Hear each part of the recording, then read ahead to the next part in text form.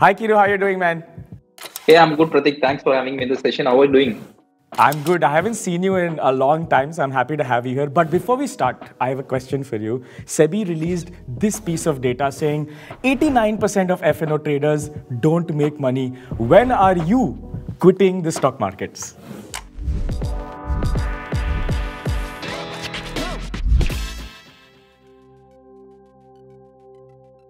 No, even though I've been in the markets for a long time, so whatever SEBI released, you know, the thing is, well, even though they said 89% of the people are not making money, one thing that no people are forgetting is, you know, from 1995 to 2020, almost you know during this 25 years, only 4 crore demat accounts were opened, Hmm. and in the next two years, additional 4.5 crores of demat account has been opened. So what we have seen in the last 25 years we have, we were able to you know, replicate the same growth in just next two years because of this you know, pandemic. So mainly because of this pandemic, people were looking for alternate options to make money, or you know, people were not occupied much. Even though they were saying working from home, they were not really working from home. They were trying you know this trading stuff. So most of these people, more than you know 50, 60 percent of these people came in the last two years and they wanted to dabble in the markets. But the thing is, 90% of them are no purely random traders. They you know trade completely based on news, what they see in you know, channels or what they see in newspapers. So most of these trades that they have been taken in the you know, last few years, it's completely random by most people. So only few has their own process. So I'll summarize what you just said. You said massive adoption in people opening demat accounts, one. Second thing I'll take out from the report, we've gone from 7.1 lakh F&O traders to 45 lakh from 2019 to 2022. So massive, what is that, 5x, right? 7 5s are more than that, 500% type increase. And you're saying these new guys had no clue about what trading is and they were simply gambling? Is that what you're saying? Yes, not only gambling. So the thing is, they don't know everybody is gambling, man. So be it you know, a trade new guy or a you know, experienced guy. But the thing is, people who are being in the markets, they know all this risk reward ratios. How much I'm going to make. Like if I'm making 100 rupees, how much I'm going to risk. If I'm going to risk 10 rupees to make 100 rupees, fine. Hmm. But if I'm going to risk 200 rupees to make that 100 rupees, it doesn't hmm. look good. Hmm. So all these things you know, will come into traders' mind only after they cross the 10 years, after they put in their own money, and after they lose, after they blow up their account, eventually they'll understand. So all this no risk, like only when the people put in money and eventually get surprised because of all these unknown events that is happening, sudden movements, and suddenly losing 10%, 20% of their account in one day. So only when they are no filled with these surprises they learn. Just because no you we you know teach them through YouTube or teach them through some no other medium, they people don't learn easily. People learn only when they get surprised. So is trading systematic risk to reward is something that only professionals understand. And because people did not understand it, they burnt their hands. Are you right? Does that make sense? Right, right. And also one more important point is people who are into options buying. So you know these people you know, who you know, recently jumped in. Ninety percent of them might be into this you know options buying versus options selling. And people who were trying to do get into options buying, they'll see okay, I checked last expiry and I could see this uh, you know ten rupees option premium going to 500 rupees. So they tend to you know, expect the same because of the recency bias. They tend to expect the same. Okay, last week this four rupees option went to 400. Probably this week I'll also buy this 400. I mean four rupees option. I'll they'll put all their money into that one particular trade, expecting it to make it big in just one trade, or trying to you know revenge trade and recover all their losses in one trade. But the main thing that they forget is option buying. It's it works like Pareto principle. 80% of your profits will come from less than 20% of your trades. Correct. So you need to know keep trade taking losses frequently, but once in a while that gives you, you know very huge returns. But people are not patient enough to know take all those repeated losses over a period of time. So this Pareto principle works with you know, all these breakout kind of systems or trend following systems. We never know when that you know, 20% of the trades will come. So only that 20% of the trades is going to determine overall your you know, 80% of the profits. So these things people know doesn't realize it in, during their initial phase. Okay, Kiru, let's be honest, okay? Capital, chalo, we can learn how to make the risks small, chalo. It, it's a learned thing, okay? Um, adjust position based on risk, chalo, you know, someone can explain us based on wicks, we can move, chalo, we can learn, it's a skill. So now my question is, um, can you tell us how you develop an algo strategy? Maybe go from a discretionary logic and then tell me what does a, a, a final quantitative logic look like? What are the steps involved? One, two, three. What you have to do is, I'll tell you a simple example. So find out how much Bank Nifty has moved over the past five years from 2017 to till date. I guess no, from 2016 June onwards, weekly options was introduced. So take a data from 2017 to till date, just Bank Nifty open, high, low, close value, which you can download from NSE. Now what you do is find out what is the range, every day's range, how Bank Nifty, you know, overall range from 2017 to till date. So if you observe prior to 2017, if you observe most of these ranges is almost same, like you know, from Monday to Friday, the ranges will be normal. Once in a while, you could see a big range movements. But post 2017, if you could see, except Thursday, rest of the days ranges were much higher. Thursday's range just became narrower and narrower, and narrower over the period of time because of the introduction of weekly options, where the expiry is happening on Thursday. So this data suggests you that you can't expect a bigger range move on expiry days. That can happen once in a while, but that is not going to be frequent. So probably 80% of the days on Thursday is going to be very range bounding. Hmm. So what it signifies is since you can apply any kind of non-directional systems on Thursdays. And if you have a proper risk control, then the probability of making you know, high consistent profit over a period on specifically on expiry days is higher because that is what the overall data says. Now you can go and create strangles or straddles with a wide stop loss or no, you know, adjusting the overall position so that it becomes a complete non-direction setup on Thursdays. So this is the right way to start or you know, create a trading system. So instead of having a predetermined notion stating, okay, I want to create straddle, I want to create straddle, think of overall market behavior and then try to fit in your you know, strategy into it. Then that works. But this, without backtesting, one should not even try to do. Right now, we're still in the hypothesis stage, what you explained. Ki we have an observation and it seems to be working, but it has to be, you can backtest on many things. It could be Excel or whatever. Uh, it could be AmiBroker, whatever. But you have to backtest it before you actually even think about doing something like this, right? So the thing is, you can directly start with straddles or straddles backtest. But if you have this approach, then there is a core logic behind with know mm. why your strategy is working. Now, if you go on backtest, then if it gives you satisfactory results, then there is a higher probability that you will stick to it because you clearly know why the strategy is working. Because the last few years after the introduction of weekly option the market behavior changed.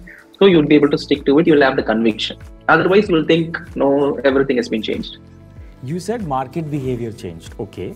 But sometimes structurally, the market can change also. So, for example, SEBI can introduce a new rule.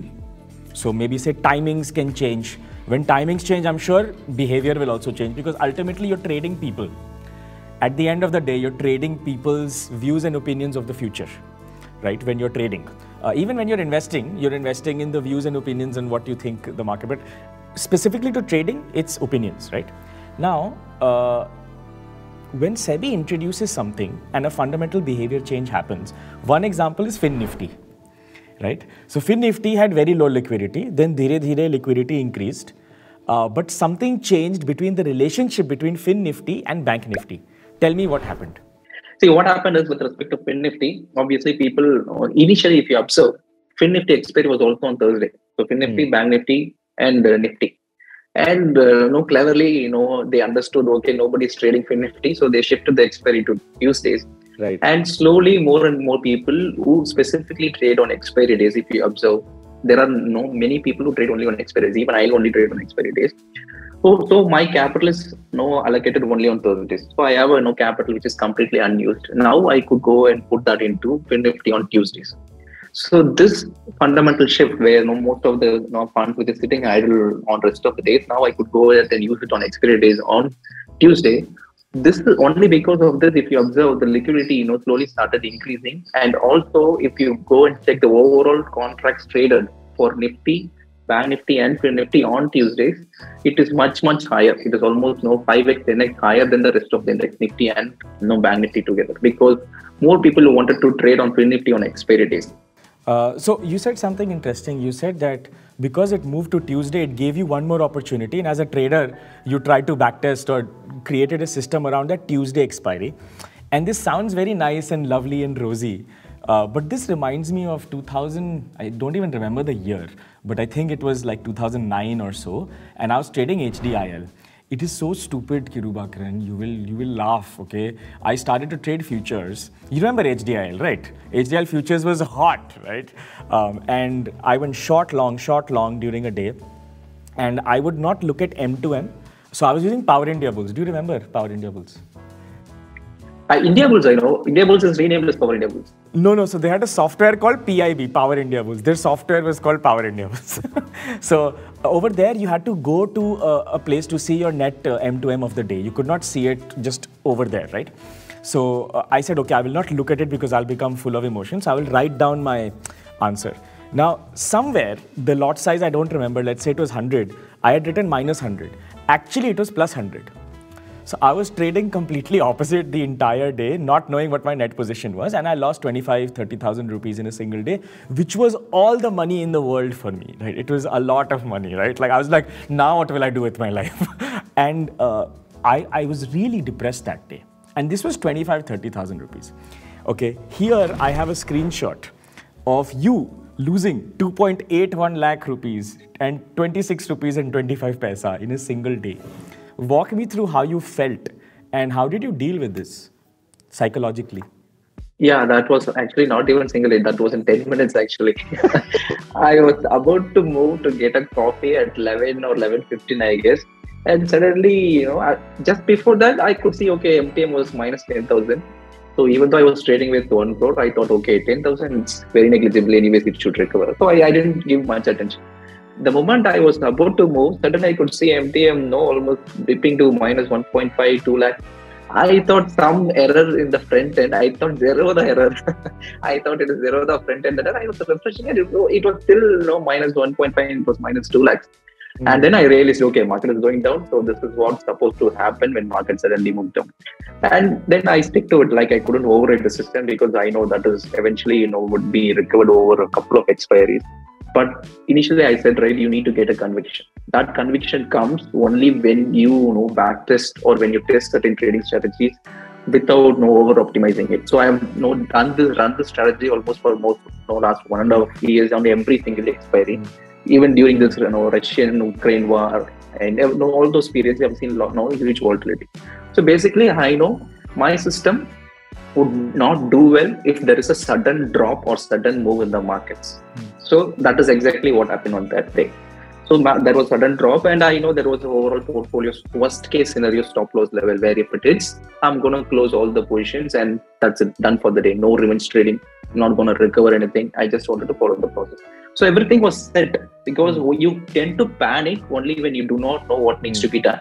Right. So here, even though the market was going down, I am not in a panic mode because no, I know this is what the process is. Everything is fed into the system, and the system is following what I have taught to the system. So that that was the exact thing that happened. So I know before I get into a trade, I know exactly this is the worst case scenario. So that day, even though losing almost 2.9 lakhs is 3% of my capital, which I would be able to manage to recover over the period of time. But if I'm losing 30% of the capital on that day, definitely that would have been no very, very hard for me to come over it. So you have to have the balance, like what should be the right you know, uh, loss that you're comfortable with. So, Kiru, tell me this. Um, was the 3% loss in a single day expected as per your backtest? And what is the maximum drawdown, a worst case scenario, a loss in your backtest? Yeah, this 3% is expected when market suddenly moves down. So historically, I could face anywhere between you know, 3 to 5% you know, when there is sudden movement that happens in the market. And drawdown wise, I could say like in the last one and a half years, till December, I did not increase my risk. So till December, I was continuing the same risk and I was continuing with the same position size. That gave almost no returns of 30% returns with less than 4% drawdown. Overall drawdown itself of 4%. From December 1st onwards, I doubled my risk. So my expected returns could increase and also my expected drawdown would increase it, but still it could be less than 10%. So I increased my risk and then I traded from December 1st onwards. And to my luck, the moment I increased my risk, the market you know, completely went into volatile phase on every single yeah. expiry. So I, I used to have, I had almost 12 back-to-back profitable expiries. And after that, I'm facing almost five back-to-back losing expiries. Oh. And no, the, the sixth expiry was profitable, again the seventh expiry was low. So overall, the drawdown is still around 8%. And oh, wow. the worst case scenario, so the worst case scenario is around you now uh, 3 or 3.5% is the worst case scenario in the back test. And if I have not increased the risk from in the month of December, still my drawdown would have been just under 5%. Love it, Arkiru. So you have to increase it. So if you have to increase it, obviously you will be facing these kind of issues. So this is part and parcel of trading. Nothing can be done. You know, love it, Kiru. I love that you brought it down to a science and you know what is the worst case scenario. And I guess fear is where uh, fear happens when you don't know, right? Fear happens in the darkness. Uh, when there is light, you know what's going to happen. So at least you can calm yourself down. So okay, so we, we understood all this. We understood risk management. You covered uh, if something is expected, it's going to happen. It could be worse also, and you should be okay with it. If you're not, don't trade, man. Do something else. Love it, Kiru. Now what I'll do is I have two questions from actual users. Um, and if you like this and you've survived so far in this video, please ask a question. Kiru will answer, we will answer. Uh, but let me read the question out. Okay. Yeah. Uh, so it goes Kiru, you are damn hot. Oh, just sorry, sorry. I'm just joking.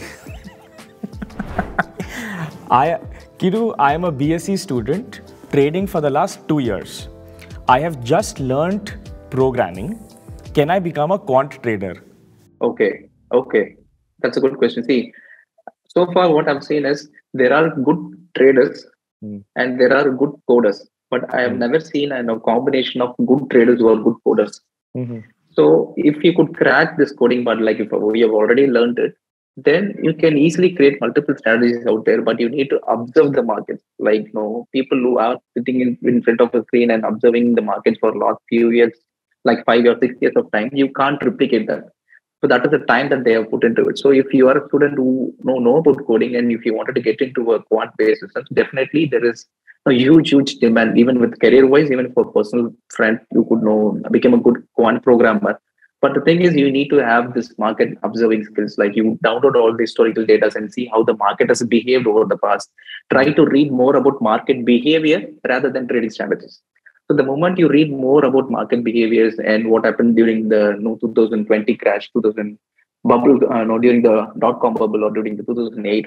So all these times, you know, if you just go and research about articles, it gives you detailed insights about market behavior and how people reacted, how market moved. And then if you go and you know, read about trading strategies, then it would you know, make sense. So everything would make sense. and you can create your own strategies and start getting into it. So if you're already a good programmer, don't directly get into you know, building trading strategies. Try to you know, read more about market behavior and then move to developing strategy. Uh, give me a one-line answer to this, uh, Kiru, because the next is a very complicated answer, but uh, let's simplify the answer. So the question is, um, Hi Kiru, generally I do time-based short straddles, but sometimes due to IV spikes, Bank Nifty option stop loss get hit, hit quickly. How can I handle IV spikes in the market? Again, stop loss question. okay. Okay. See, there, there is an, another approach that you could do. So the two ways that you could do it. So when you are using a no time-based straddles or strangles and trying to use a fixed stop loss, so definitely when there is a sudden spike, the stop loss is going to get hit for sure. So hmm. instead, what you can do is use an underlying stop loss. See, you are trading back. Say, for an example, if you're trading Bank Nifty, so instead of using a stop loss based on premium, you shorted 100 rupees call option, you shorted 100 rupees put option. Instead of using a no, stop loss on premium, use a stop loss on underlying. If underlying moves 0.5%, if underlying moves 0.25%, then I will exit my legs. If you do this, then uh-huh. these sudden spikes would not affect you. It would be much easier for you to manage it. So try to change your stop loss from having an underlying stop loss, I mean, from a no, on the stop loss based on premiums to yeah. Hmm. underlying, then it would be easier to manage. So that I have seen personally. So that is much easier to manage these spikes rather than trying to you know, change your stop loss levels. Okay, I'm putting at 20%. If I put at 40%, it will not get hit. But even at 40%, sometimes it might get hit. So it's better to use you know, stop loss based on underlying. Super Kiru, I enjoyed this as always. Uh, we kept this a little technical this time because I think that's what people want to learn from you. Um, we first discussed about the three things professional traders do. One is on a large capital, a single trade is very small risk. Two, they are just positioned based on either risk or probability. And third, they find a way to have a system so that they don't have emotion. We also talked about the journey of an algo trader. People want to jump to become a fighter pilot, and but they don't know class 10 physics. So, Kiru, uh, you know, we thought that trading is difficult and everyone needs to learn it, but there's no place you can learn it in an interactive way.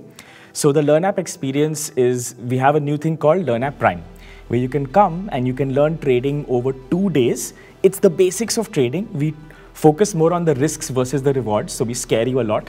Uh, but in a cohort of other people, you learn by actually doing and attending these live classes. So if anyone's interested, they should definitely apply for Prime. It is free, but only 20% of people can get access to it. Most people who say, I want to double my money are uh, removed from over here. So we check for aptitude, uh, so fill up the form carefully. Thank you so much for your time, Kiru. If you have any questions, put it in the comments. Kiru, any parting lines you want to tell people who watch the show? Nothing, man. I just wanted to finish this podcast with the same no line. Like if there is a process, there will be a progress. Make sure that you follow process. Eventually, profit will come.